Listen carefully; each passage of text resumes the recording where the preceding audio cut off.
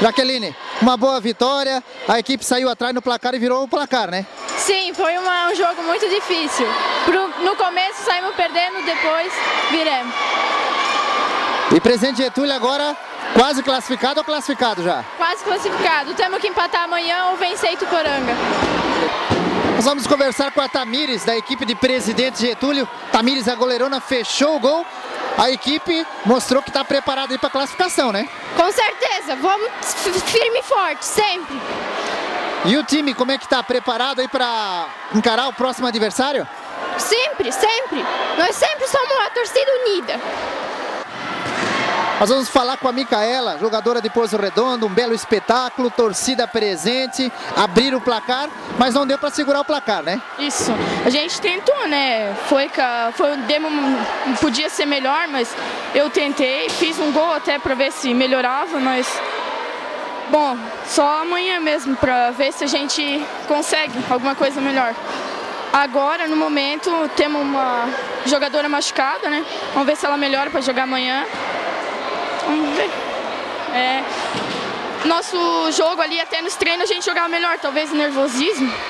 Micaela, mas vamos buscar aí a próxima vitória com todas as forças, né? Vamos, isso aí, vamos. Vamos tentar ganhar amanhã.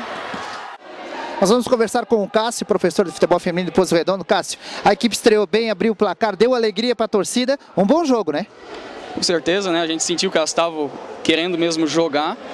Ah, uma pena que a gente teve pouco tempo para treinar, a equipe né, junta, é a primeira vez que estão jogando junto, mas a gente acredita nesse time que ano que vem a gente possa voltar e representar ainda melhor o município.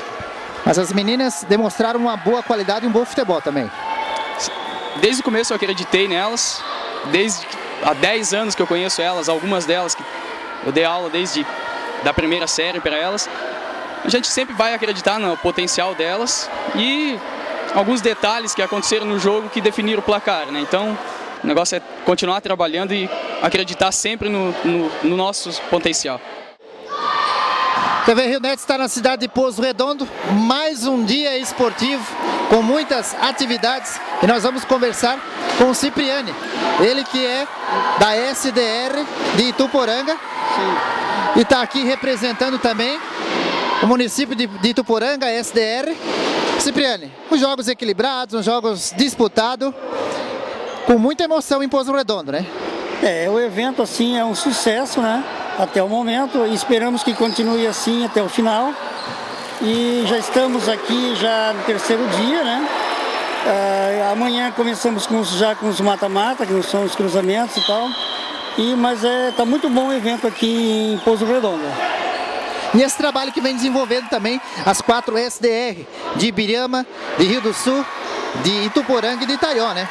Sim, é esses eventos da FESPORT, que são a OLESC, Joguinhos e Jogos Abertos, são as quatro SDRs em conjunto. São nós os quatro integradores é que realizamos este evento.